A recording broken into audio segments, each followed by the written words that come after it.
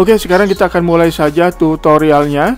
Jadi untuk sobat semua yang saat ini menggunakan TP-Link TLWR 844N dan sedang mencari tahu bagaimana caranya memblok perangkat-perangkat tak dikenal yang sering connect ke WiFi kita, maka cara untuk membloknya yaitu ada dua cara, yaitu dengan membuat blacklist atau kebalikannya yaitu dengan cara metode whitelist. Jadi apa itu blacklist dan apa itu whitelist?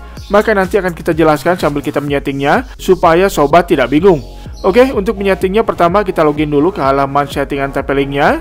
Di sini kita menggunakan PC untuk menyetingnya, tapi menyetingnya menggunakan HP pun tidak masalah karena toh tampilan halaman settingan TP-Link-nya sama saja. Oke, jika sudah masuk lalu kita langsung saja klik menu Advance. Selanjutnya kita buka bagian menu Security. Lalu pilih yang Access Control. Nah, di halaman akses kontrol ini kita tinggal mengaktifkan saja settingan akses kontrolnya, kemudian tinggal kita setting. Oh ya, tapi sebelum kita mulai menyetingnya, admin ingin menunjukkan dulu sebuah menu settingan lainnya yang mungkin juga cukup penting dan berguna untuk sobat di rumah yang mempunyai anak-anak kecil, terlebih anak-anak kecil yang sering kelamaan main gadget atau sering bergadang main game, yaitu option parental control karena di sini kita bisa menyeting untuk perangkat tertentu, misalnya supaya perangkat tertentu tidak bisa mengakses web-web tertentu. Lalu kita juga bisa mengatur lamanya sebuah perangkat dapat mengakses Wi-Fi-nya per hari. Dan bagusnya lagi di sini kita bisa membuat schedule Wi-Fi khusus untuk tiap-tiap perangkat, kapan Wi-Fi akan mati dan kapan Wi-Fi akan hidup lagi, itu bisa kita setting. Sehingga untuk sobat di rumah yang mempunyai anak-anak kecil yang sering bergadang karena main game, maka mungkin saja settingan ini bisa bermanfaat. Oke, tapi settingan ini tidak akan kita bahas sekarang, ini hanya preview saja dan mungkin akan kita bahas pada video-video yang selanjutnya. Nah, jadi supaya videonya tidak kepanjangan, kita mulai saja tutorial cara untuk membloknya. Jadi, kita balik lagi ke halaman security. Oke, di halaman access control yang ada di menu security ini, kita tinggal aktifkan dulu optionnya. Kita aktifkan. Nah, di halaman access control ini ada dua pilihan metode yang bisa kita gunakan untuk memblok perangkat-perangkat yang tidak dikenalnya. Pertama yaitu metode blacklist dan yang kedua kebalikannya yaitu metode whitelist. Nah, jadi kalau blacklist itu adalah kita membuat daftar list perangkat-perangkat yang tidak dikenal atau yang bukan milik kita supaya perangkat-perangkat tersebut tidak akan bisa connect kembali ke perangkat TP-Link yang kita gunakan. Dan sedangkan untuk metode whitelist itu adalah kebalikannya, jadi hanya perangkat yang ada dalam list saja yang bisa connect ke TP-Linknya dan yang tidak ada dalam list itu akan terblok semua. Oke, sekarang kita akan coba praktekkan saja dan metode pertama yang akan kita gunakan adalah metode yang blacklistnya terlebih dahulu. Caranya kita klik yang blacklist, kemudian kita klik pada tombol add untuk melihat perangkat apa saja yang tersambung ke TP-Link yang kita gunakan. Nah, seperti yang bisa sobat lihat, di sini ada dua perangkat yang tersambung. Yang pertama itu yang desktop itu adalah PC yang admin gunakan untuk menyeting TP-Link-nya dan itu tidak bisa diblok. Dan yang kedua adalah perangkat handphone, itu adalah handphone yang admin gunakan. Nah, sekarang misalnya kita anggap saja misalnya handphone Mi Max 2 itu adalah perangkat tidak dikenal yang mau kita blok. Jadi, kita akan coba blok sekarang. Namun sebelum kita blok, admin akan tampilkan dulu screen capture dari layar Mi Max 2 yang admin gunakan supaya sobat bisa melihat apa yang terjadi jika sebuah perangkat kita blok atau kita masukkan ke dalam halaman blacklistnya. Oke, kita tampilkan. Nah ini dia screen recording dari HP Mi Mac 2-nya dan bisa dilihat HP Mi Mac yang admin gunakan ini statusnya masih tersambung ke WiFi TP-Link-nya dan masih bisa internetan dengan lancar dan bisa dilihat simbol WiFi-nya juga dia masih muncul. Nah kemudian ceritanya HP Mi Max 2 ini akan kita blok dari WiFi TP-Link-nya dan caranya adalah pada settingan TP-Link-nya kita klik pada nama HP yang akan kita blok, kemudian kita klik add.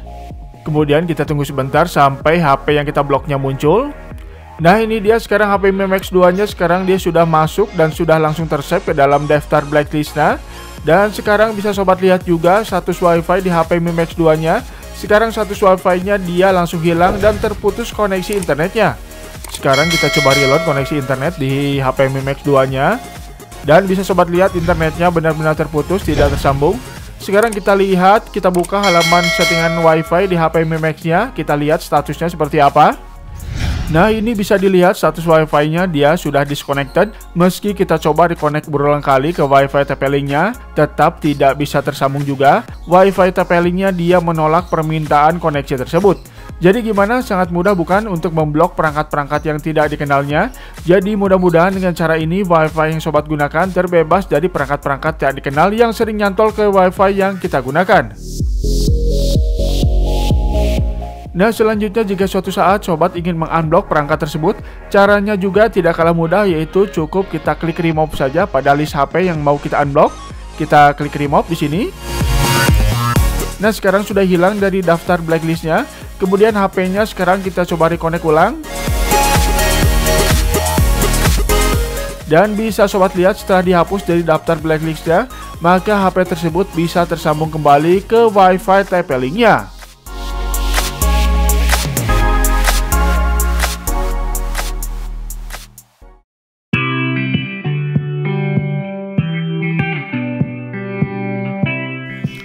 Oke, untuk metode yang kedua ini kita akan menggunakan metode whitelist untuk memblok perangkat-perangkat yang tidak dikenalnya. Nah, mungkin sobat ada yang bertanya, kapan sebaiknya kita menggunakan metode whitelist ini? Jawabannya adalah jikalau perangkat yang kita bloknya masih bisa connect atau bisa tersambung meski kita sudah membloknya. Nah, hal tersebut mungkin saja terjadi karena mereka menggunakan aplikasi-aplikasi untuk mengubah MAC address pada perangkat yang mereka gunakan. Sehingga saat kita sudah membloknya, mereka merubah MAC addressnya dan bisa connect kembali ke jaringan WiFi yang kita gunakan. Nah, jadi solusinya untuk mengatasi masalah tersebut, salah satunya adalah dengan menggunakan metode whitelist dan menurut admin metode ini cukup mudah karena kita hanya akan memasukkan perangkat-perangkat milik kita atau perangkat yang boleh connect saja ke dalam list atau ke dalam daftar whitelistnya sehingga hanya perangkat yang ada dalam daftar tersebut yang bisa tersambung ke WiFi yang kita gunakan.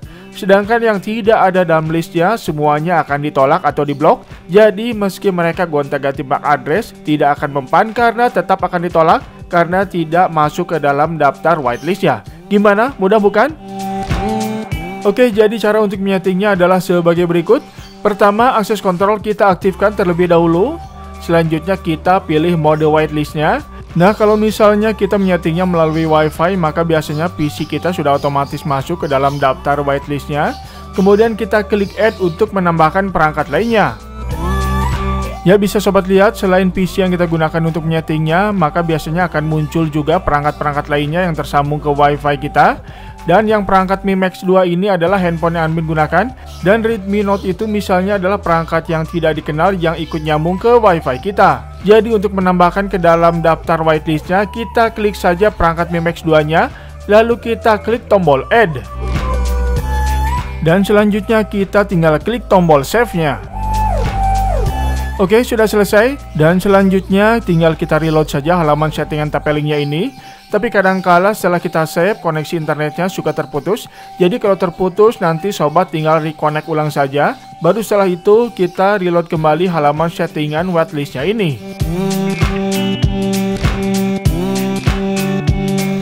Nah, nanti apabila setelah di-reload sobat menemukan ternyata di dalam daftar whitelistnya ada perangkat yang bukan milik kita tidak sengaja ikut masuk, maka tinggal kita remove saja dari daftar whitelistnya seperti ini. Nah gimana, mudah bukan? Nah ini tampilan dari HP Redmi Note 4 sebelum kita blok, ini HP kita yang lain. Ya HP ini masih bisa mengakses jaringan WiFi kita. Tapi setelah kita aktifkan whitelistnya, maka koneksi jaringan WiFi-nya akan langsung terputus seperti ini. Dan meski dicoba untuk reconnect ulang juga tidak akan bisa.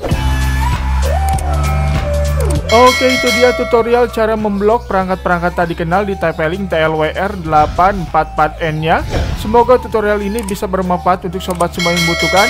Lebih kurangnya admin mohon maaf Akhir kata, saya admin Skill Info Channel mengucapkan terima kasih untuk sahabat semua yang sudah menonton. Jangan lupa support kami dan mengklik tombol subscribe dan aktifkan juga notifikasi loncengnya supaya tidak ketinggalan jika ada update terbaru dari kami di kemudian hari. Serta kalau dirasa video ini bermanfaat, boleh juga diklik tombol like-nya. Sampai jumpa di video-video tutorial lainnya. Wassalamualaikum warahmatullahi wabarakatuh.